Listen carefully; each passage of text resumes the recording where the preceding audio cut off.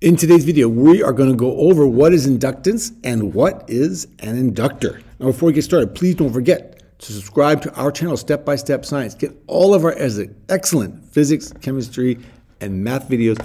When I look at my analytics, I see that so many people who watch our videos haven't subscribed. Please subscribe, click the notification bell, give us a thumbs up, leave us a nice positive comment, and don't forget to share this video. In addition to that, I made a bunch of other teaching and learning materials which you can find at our Teachers Pay Teachers website. Whether you're looking for examples, practice problems with all the solutions, notes, puzzles, and a bunch of great labs that you can do with the PHET interactive online simulations, it's all there at our Teachers Pay Teachers website. The link is in the description below, and let's get started. What is an what is inductance and what is an inductor? Well, an inductor is simply a coil of wire. You take a wire, make it into a coil, you have an inductor. You have a coil of wire, and that inductor has inductance. So, a coil of wire in a circuit is an inductor, and it has inductance. If you pass a current through that coil of wire, then there will be a magnetic field inside that coil of wire and energy is stored inside that magnetic field. If you change the current through the coil, that changes the magnetic field, which changes the magnetic flux, which causes a self-induced voltage across that coil of wire. If you change the current through a coil of wire, you get a self-induced voltage, and that self-induced voltage tries to resist any changes in current. That's what coils do. They don't like it when the current changes. They're okay with a constant current, but if you change the current, then that coil is going to work by producing a self-induced voltage to try to resist that change in current. And this self-induced voltage will try to resist any changes in current, whether it's increasing or decreasing current through that coil of wire. Okay, that's what inductors do. They try to keep the current from changing rapidly we don't like it when we have spikes in the current. Okay, now I'm going to just show you really quick what that looks like using one of the simulations in PHET Interactive Simulations. Here's the website. Here's the name of the simulation. It's an HTML simulation, so you can use it right there on your computer, tablet, or uh, Chromebook. Okay, so here I have a simple circuit. I have a battery, a switch, a resistor, and here's my inductor, a coil of wire. And you will see I'm just measuring the current here over time. And when I close this switch, you will notice that the current does not go up immediately to its maximum. It takes time. You can see it takes some time there for the current to reach its max. And that's what the current is, that's what the inductor is doing. It's trying to resist the flow of the current or the change in current. Now I can run this again. I can open this. You see it goes back to zero. And then I can simply close this again and you see the same effect again that current is changing over time. Okay, if I just had a resistor, it would go up and then reach its maximum, but here it's changing over time, and that's what inductors do. Okay, let's go back and talk about our, some more stuff about inductors and inductance. Okay, so what we're going to do now is I'm going to derive the equations for you for inductance and for the self-induced voltage across a coil of wire. Now, this is Faraday's law. Faraday's law simply says that the induced voltage is equal to minus the number of windings times the rate of change of the magnetic flux. B, the magnetic field strength, times the area of the coil. That will give us an induced voltage if we change that, and this is one way that we can write Faraday's law. Now, we also have the equation for the magnetic field through the coil of wire. B is the magnetic field for the coil. It's mu naught times n, the number of windings, times I, the current, divided by the length of the coil. If we know all of these properties of the coil, then we can calculate the magnetic field through the coil. Okay, now you can see here I have B in here in this equation, the magnetic field, and this is for a coil of wire we're talking about. This is the induced voltage from a coil of wire. So I'm just going to take this term and I'm going to substitute it right in here for B. So I have B like that. And you can see the part that I put here in blue, that is simply this part right here. Okay, so I just have minus N. This is this N. This is B. This is the change in the current over time. Excuse me, the change in the area. This is the area, change in the area over time. All right, now I'm going to simplify this equation. And when I simplify this equation, you know, you'll see I have n squared. So what I'm going to do is I'm going to bring the constant mu naught out in front. I have my minus sign still. I have n squared now. I have my area, I switched my area and my current, I'm just multiplying it, and I have my length on the bottom here. And I did this because what I'm going to do with the current with the coil to get it to produce a self-induced voltage is I'm going to change the current over time. All right. Now you'll notice. So this is the equation that we could use to calculate um, the induced voltage. But you'll notice I have all of these terms right here. Okay, not the minus sign, but all of these terms right here. This is a constant. If I have a coil of wire, it has kind of a set number of windings. You typically don't change the number of windings. It has a set area and it has a set length. So all of these terms right here, one, two, three, four, these are all physical properties of the coil of wire. They are not going to be changing. What's going to be changing is the current through the coil. So I'm going to take all of these out, and this is what is the inductance. This is how we calculate the inductance. The inductance has a symbol L, okay, and it's measured in the unit Henry. And the inductance of a coil of wire is simply calculated as mu naught, which we'll do a couple examples towards the end of the video, times n, the number of windings squared, times a, the cross-sectional area of the coil, and divided by L.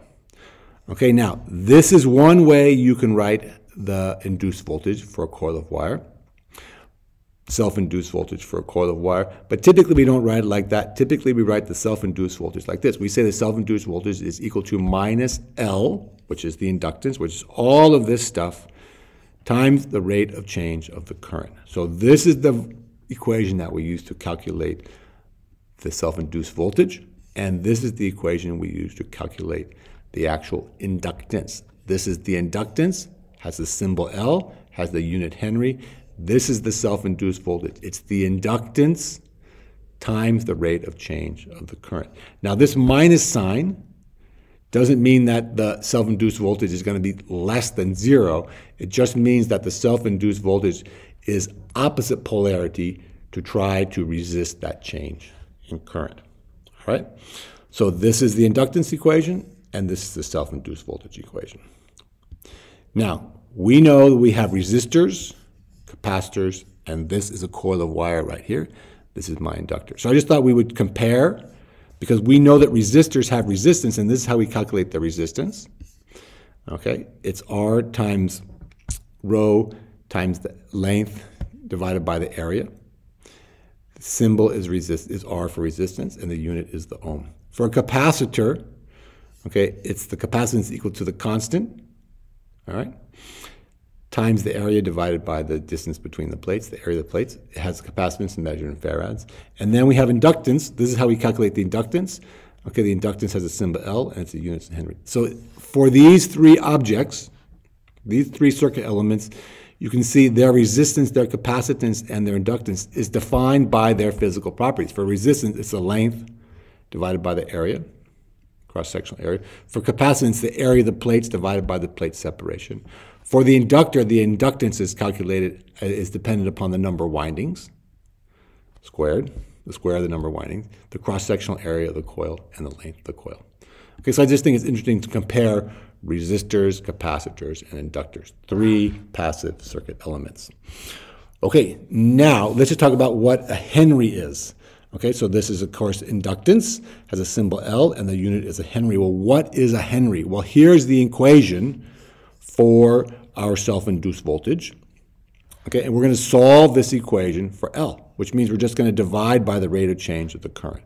When we do that, we get L, the inductance is equal to the voltage, the induced voltage, self-induced voltage, divided by the rate of change of the current.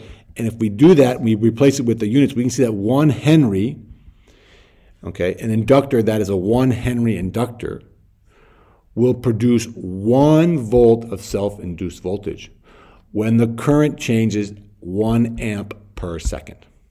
All right? So we can say that inductor with an inductance of one Henry will produce a self-induced voltage of one volt for every one amp of current change per second. Okay? So that's inductance, and that's what a Henry is.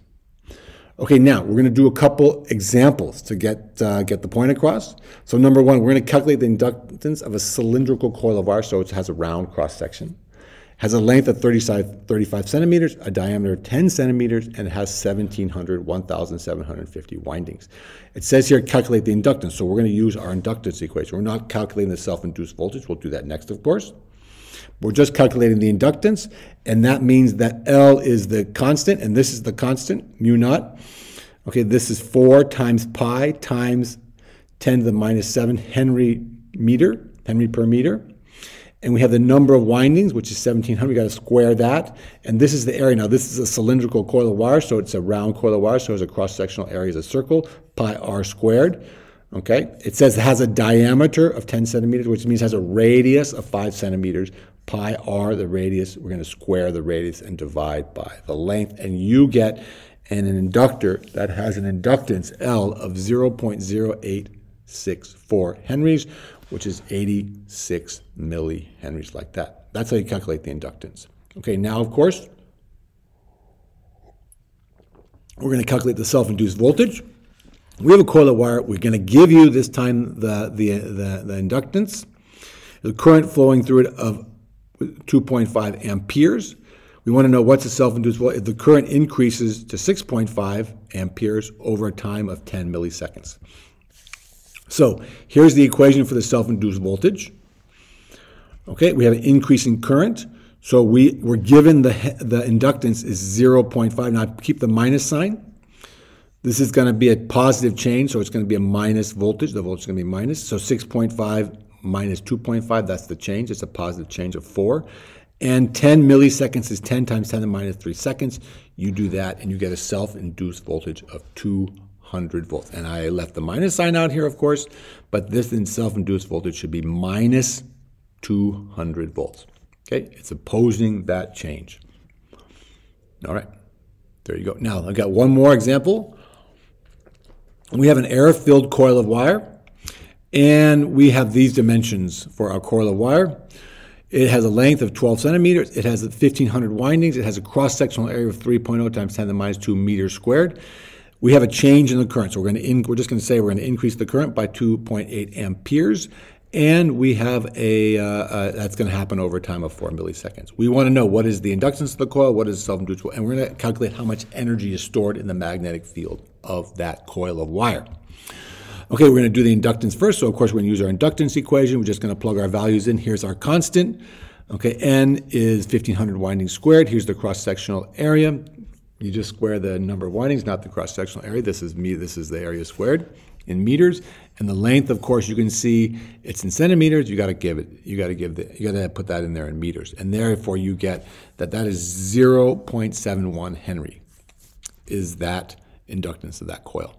Okay, so you can see we have that there, and now we're going to calculate the self-induced voltage. Once again, we're just going to calculate that as minus the inductance times the rate of change of the current. The rate of change in the current is 2.844 milliseconds, 10 to the minus 3 milli. And of course, I left the minus sign off again. This should be minus, okay, the induced voltage is minus 4.97 volts because it's an increasing current. So there should be minus 497 volts like that. Okay, for a number C here, the last one, we're going to calculate the energy.